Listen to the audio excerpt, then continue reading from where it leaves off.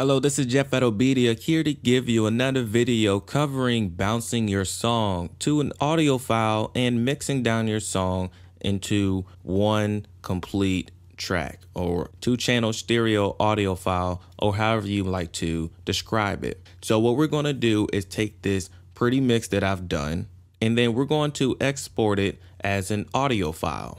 The first thing we need to do is establish our start and end markers. So we need to go over to our flag, which is our marker track.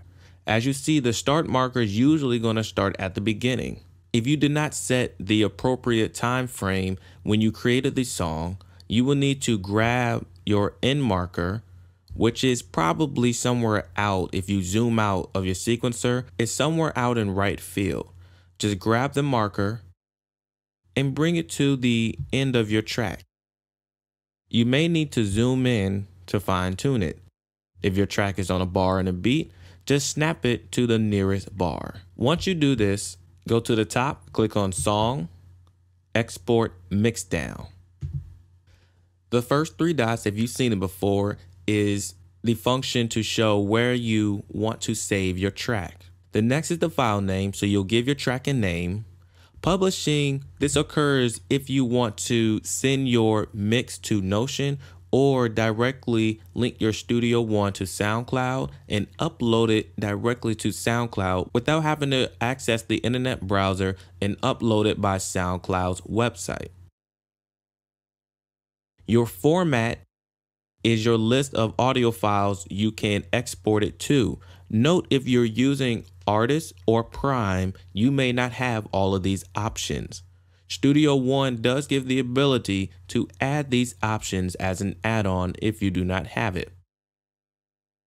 Your resolution and sample rate should generally stay the same as your project file.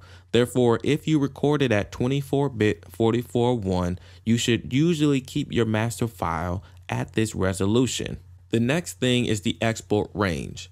Now, originally we set our start and our end markers. So we want to choose between song start and end marker. If you don't, you can loop the section that you want to export. In order to loop, you'll want to take your mouse and highlight this bar at the top where it creates a pencil mark. This will set a loop. If you don't, you can also export between each marker. So if you have different markers set, for example, a marker for guitar insert here, a next one for drum start playing, you can export different sections of your song between each marker. If you don't want to do that, you can also select between what marker you will want to export your song. Normally, you'll want to export between a song start and end marker. Unless you're working with multiple outputs, your output should normally be main or 1 and 2 or whatever the default output that is set with your interface. Bypass master effects will disregard any effects that you put on the master channel. Using real-time processing means that it will export your track in real time.